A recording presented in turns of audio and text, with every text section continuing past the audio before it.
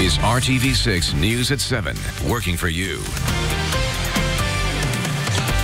It is a Storm Team 6 alert day. Heavy rain and storms depending on where you live moving in as we approach the 4th of July. Good evening. I'm Rafael Sanchez and welcome to the news at 7. We've had some rain already today and there's more to come over the holiday weekend. Let's check in right now with Chief Meteorologist Kevin Gregory. Kevin? And Rafael, all about location today. Those areas south of Interstate 70 still with the heaviest rainfall. You're less likely to see rain north of Interstate 70.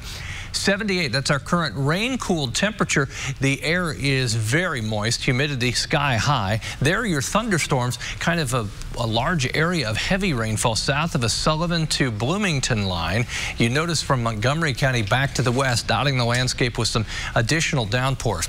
Let's talk for a second about this area from Bloomfield southwest into Knox County, northeast of Vincennes. There is a flash flood warning in effect for Clay, and then you get into Greene and Monroe counties. That until 9 o'clock. Estimated 2 to 3 inches of rain has fallen already with rain continuing, although it's starting to drift more to the south. In central Shelby County, flash flood warning there till 7.15, just the next few minutes as the heaviest rain is ended.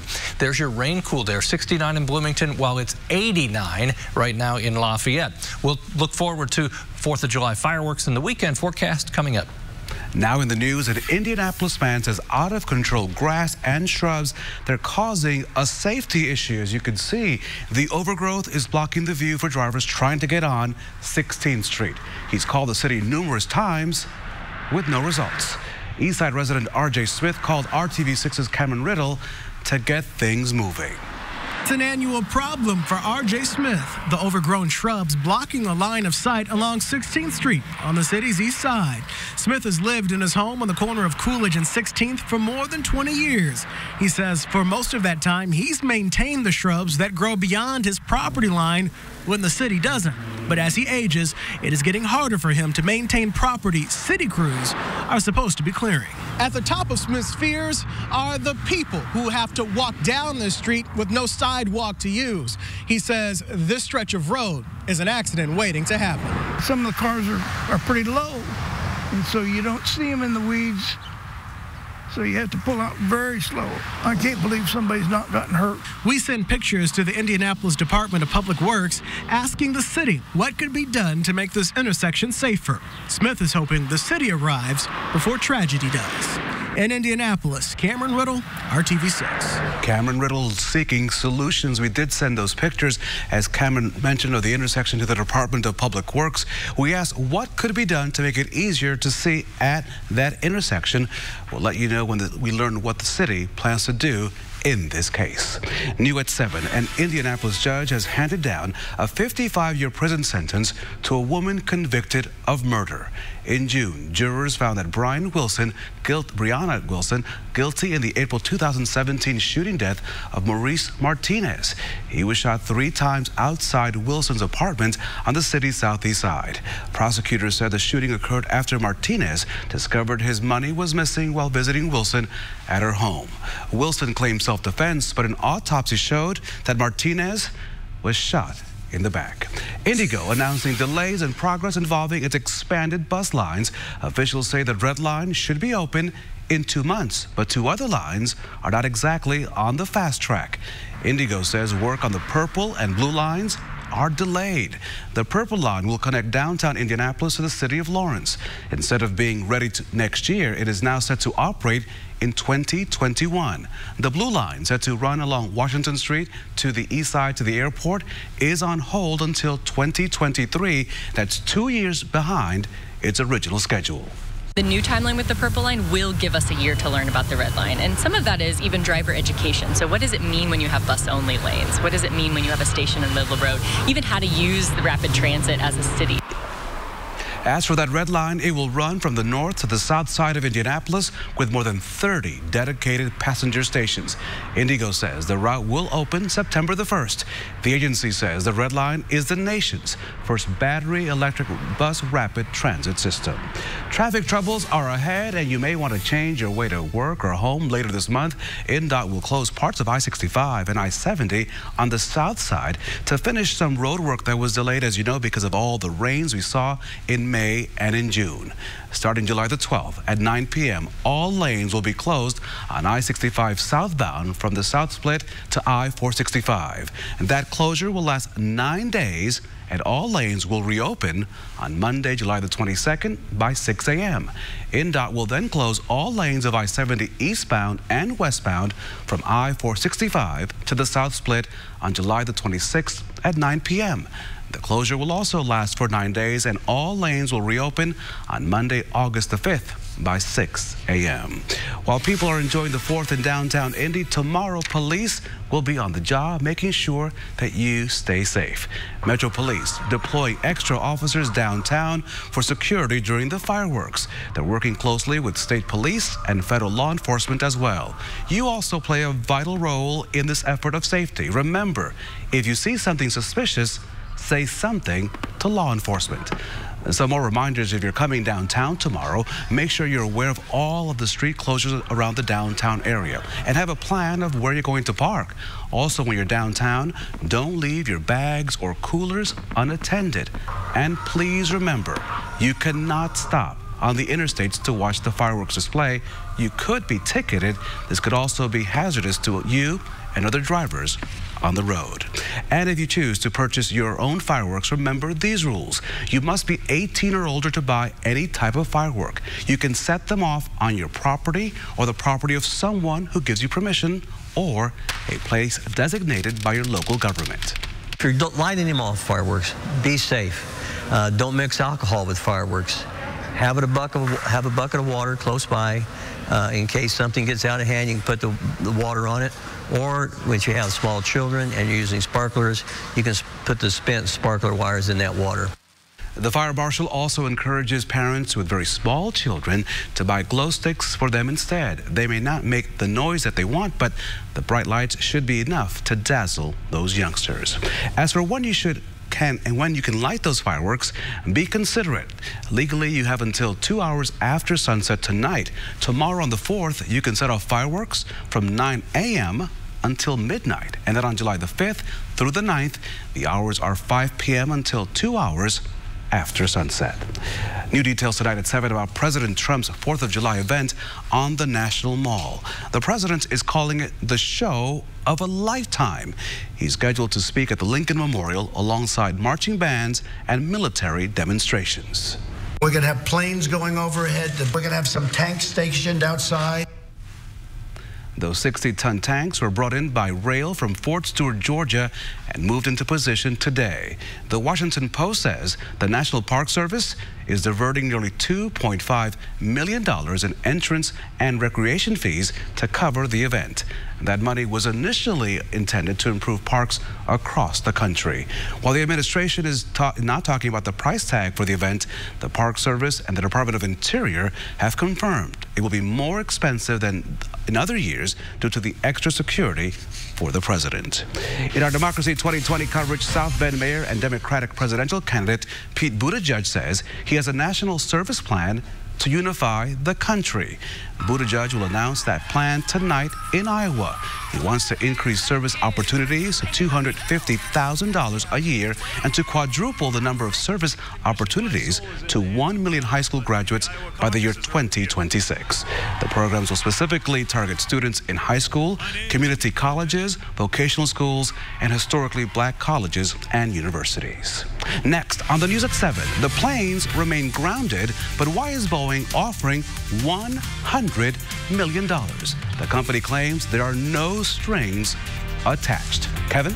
And the rain is torrential near Brownstown. Then you go to north of Bedford to the west, just south of Sullivan and Bloomfield. We'll talk about additional thunderstorms, your 4th of July forecast, and what happens over the weekend coming up. It's work weekdays from 6 to 10 a.m. This is RTV6 News at 7, working for you. Indiana State Senator and Indianapolis mayoral candidate Jim Merritt is again taking aim at the incumbent mayor Joe Hogsett over housing issues. In a press conference this morning, Merritt criticized Hogsett for claiming some Indianapolis houses are transformed when they still need a lot of work. City officials have said there isn't much they can do about slumlords because state law ties their hands. But Merritt said this isn't true, and the city has the tools, he says, to get the job done. They have the right, if they have a reason to believe somebody has a problem inside, they could go inside. State law allows communities to uh, enter. And if, if there is a problem with the house and they were having problems, they have the nuisance law as well. The mayor of Indianapolis has all the tools. In response, Hogsett's campaign responded, saying that Merritt, as a senator in the Indiana legislature, supported laws that created barriers to fair housing in the state. Sentencing day for the former Navy SEAL accused of killing an ISIS prisoner while found not guilty of that charge. He was convicted on a lesser count. ABC's Marci Gonzalez reports. Navy SEAL platoon leader Edward Gallagher walking out of this Southern California court today a free man. After a dramatic 10 day trial, Gallagher was acquitted of murder and attempted murder charges from a 2017 tour in Iraq. Uh, thank God.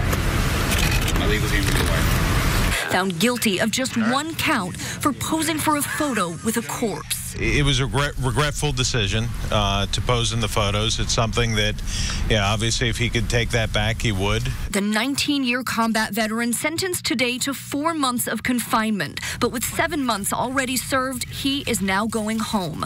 President Trump, who intervened earlier this year to have Gallagher moved to less restrictive pretrial confinement, tweeting congratulations, saying, Glad I could help. And we very much appreciate the president bringing attention to this case. Chief Gallagher was accused of war crimes, including murdering a teenage ISIS fighter seen wounded in this video from Iraqi television.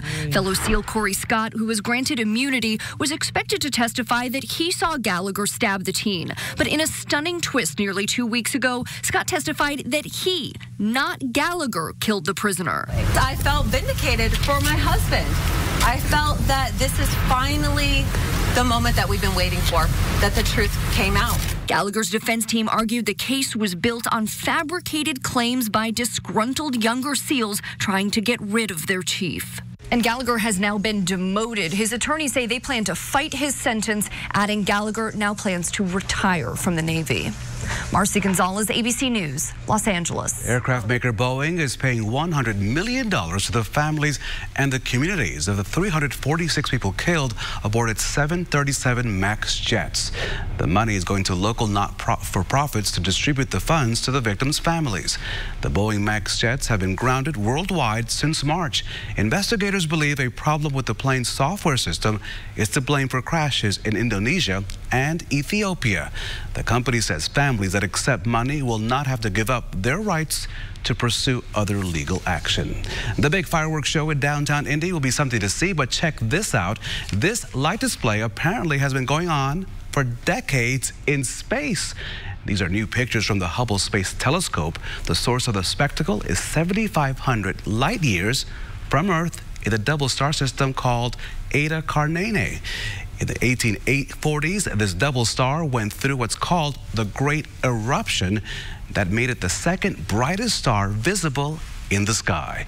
It was so bright that it was used sometimes as a navigational star for ships in the southern seas. Kevin, that's quite a light up in space. Yeah, it's lightning that's put on the show in central Indiana today, shifting to the south this evening. I'll give you a look at the radar. Nothing happening east, north of Interstate 70. You get out toward Interstate 74 in Montgomery County, then toward uh, Crawfordsville and uh, Williamsport, Covington, and Veedersburg.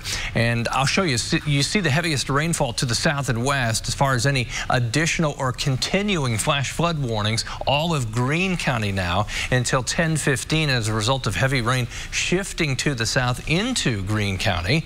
There are no thunderstorm warnings. Radar estimates of rainfall you can see in Southern Clay almost three inches. Portions of Greene County over three and a half inches.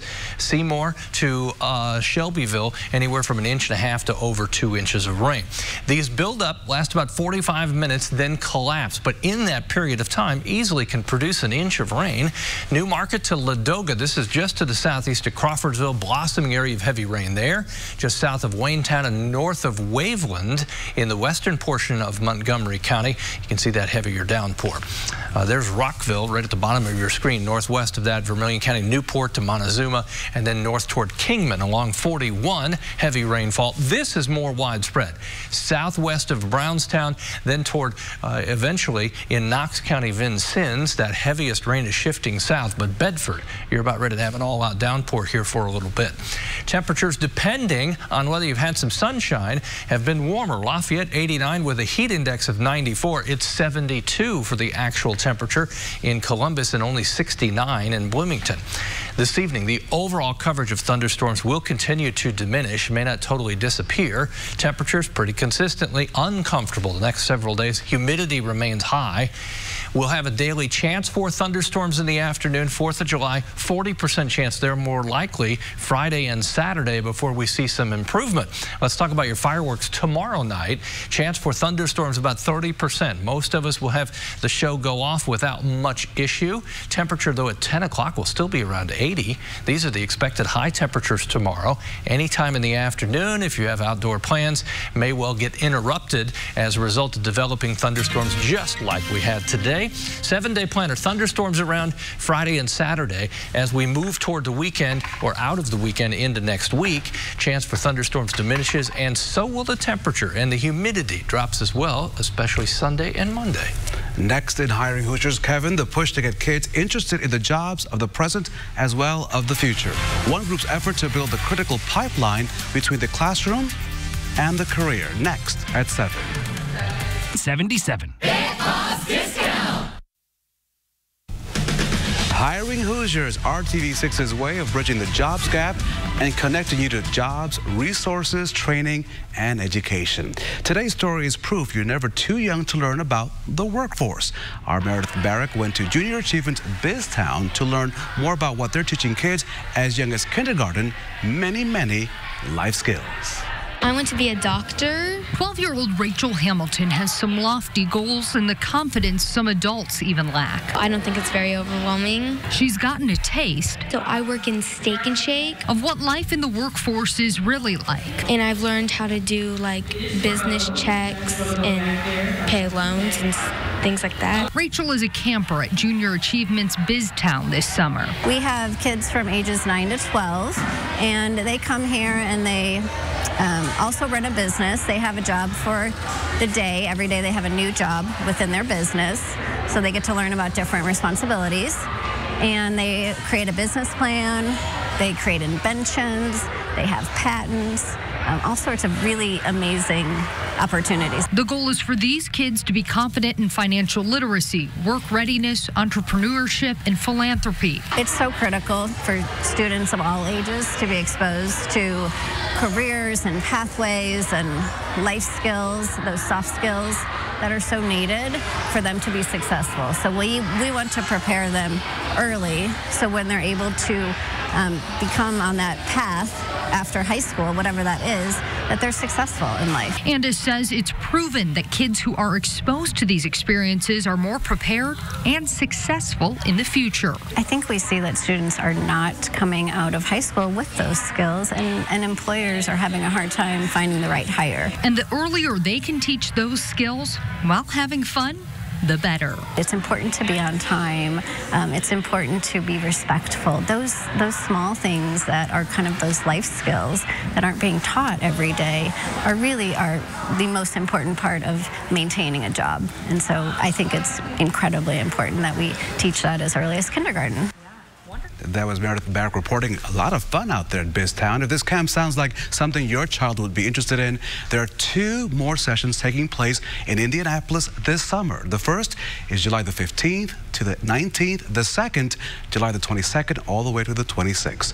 JA BizTown also offers scholarships so all kids are able to attend what is a definitely a very fun camp. We put all of this information on our website, hiringhoosiers.com. And join us tomorrow morning for Good Morning Indiana as we sit down with our career coach to talk about how to make sure that you, you are the one picked for that job. Still ahead, a tight labor market calls for taking some extreme measures. The company hoping tonight's recruitment effort will help them find people interested in many open jobs. And as we take a live look downtown, a little cloudy out there, some hit and miss showers. Kevin's forecast coming up when the news at 7 continues. To make a difference. A unique way to find workers, Kelly Services is recruiting people who turn out for tonight's fireworks display in Columbus in Bartholomew County. The staffing company is looking to fill manufacturing and office clerical jobs. They ask people who are interested to share their contact information. This will run tonight until 10:30 p.m. at the Columbus Municipal Airport. Kevin? A few fireworks spots tonight will dodge some downpours. Let me show you up toward Crawfordsville, just to the southeast and west. There's some heavy downpours, and then most numerous to the south, Seymour over to around Bloomfield. Have a good evening. We'll see you tonight at 11. Good night.